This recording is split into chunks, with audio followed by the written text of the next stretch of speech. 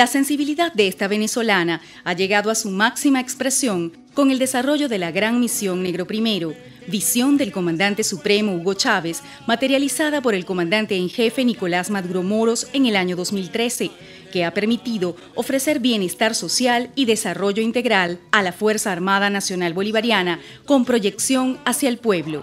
Lo que quiero decirles es que estamos trabajando en la planificación de esa gran misión, dirigida hacia los soldados, de todos sus grados, jerarquías, clases y empleo y sus familiares. Cinco ejes. Yo la he firmado y la he aprobado. Le hemos aprobado todos los recursos para la gran misión Negro Primero, para nuestra Fuerza Armada Nacional Bolivariana. Estamos desplegados con el gobierno de eficiencia militar en la calle y estamos hablando con nuestra gente, hablamos con los comandantes, le estamos cumpliendo. Nosotros tenemos un alto mando militar actual que no es un alto mando militar de escritorio, es un alto mando que está pasando revistas en las unidades, hablando con su gente, inspeccionando, atendiendo sus requerimientos. La humildad ha sido uno de sus principios fundamentales.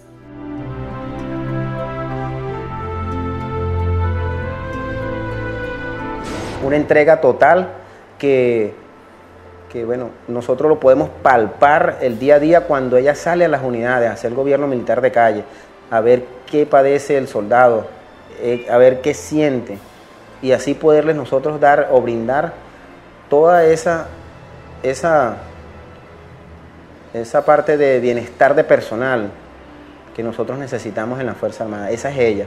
Uno lo ve día a día, pues, preocupada por su personal.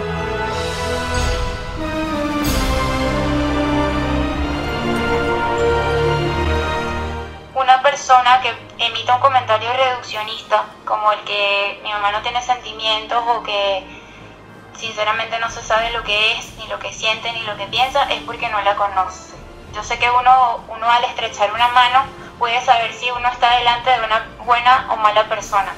Y estoy segura que cualquier persona que haya visto a mi mamá por un minuto, le doy 50 segundos para darse cuenta de que su fin último y su primer principio es ayudar a los demás, empezando por su familia, sus allegados, personas que no conoce. O sea, no hay una persona más humana que yo haya conocido hasta ahora y he conocido un montón. ¿Dónde sacas tanta energía para poder hacer eso? Y ella dice, es lo que me enseñó el presidente Hugo Chávez, esa fuerza de donde no existe y es para poder complacer o para poder atender todas esas necesidades el pueblo requiere. Admiradora del legado eterno de Hugo Chávez. Nosotros somos bolivarianos. Y cuando decimos que somos chavistas, el chavismo es el bolivarianismo del siglo XXI. Chávez rescató a Bolívar de los pedestales. Una mujer que confía y ama a su institución. A trabajar en unidad, con emoción. Yo que estuve en una actividad ahí en la brigada, cuando ella estuvo con, cuando comenzó la misión, este, y ella decía, vengan a mí, pero vengan muchachos. Actualmente como ministra entregada a sus Fuerzas Armadas. Hoy día verla desempeñarse en ese rol tan difícil y a la vez ser madre de esos tres hijos y, y bueno, con sus compañeros de clase, de, de trabajo ahora me imagino que es igual como cuando éramos también ese liderazgo, esa espontaneidad. Yo me siento orgullosa de ver como, conchale, ella de ver que alcanzó su meta y que es una buena ministra. Para mí es muy bien, muy bueno, muy responsable. Y... Que siga como va, pues. Que ayude a la gente.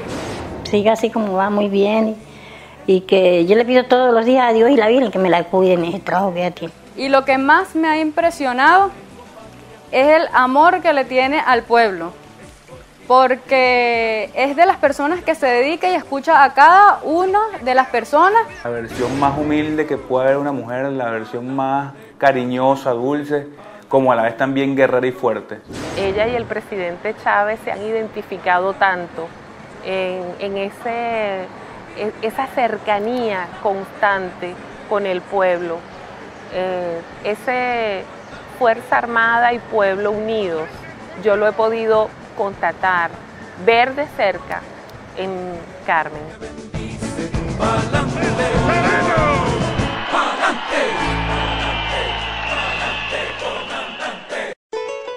Sin duda, una mujer valiente y guerrera del siglo XXI, inspiradora de las nuevas generaciones. Así es Carmen Meléndez. Tía, eres el ejemplo que queremos seguir. Te amamos mucho. Es una mujer digna de seguir y es una mujer digna de inspiración. No nada más para las mujeres venezolanas, sino para nosotros los hombres. Te deseo lo mejor del mundo y de verdad, aquí estamos, tus hijos, tus soldados. Gracias a usted, gracias a sus enseñanzas y al ejemplo que usted nos da, sin darse cuenta el ejemplo que nos da.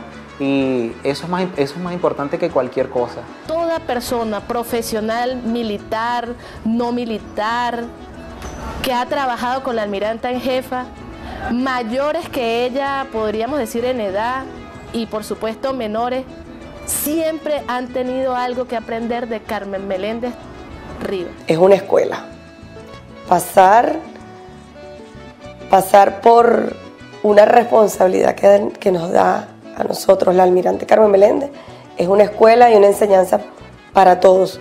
Por eso yo siempre le digo a la gente, vive la escuela del almirante y se te abrirán las puertas. Ya porque estoy vieja, pero quisiera seguir sus pasos, pero lástimamente ya estoy vieja. Que Dios me la bendiga, que Dios me la cuide donde quiera que esté, me la guarde y que tenga mucho éxito más de lo que tiene. Se lo merece. En todo lo que ella haga siempre la estaré apoyando en todo. Que siga así como va, con ese corazón que tiene y deseo todo lo más bello pues que pueda haber.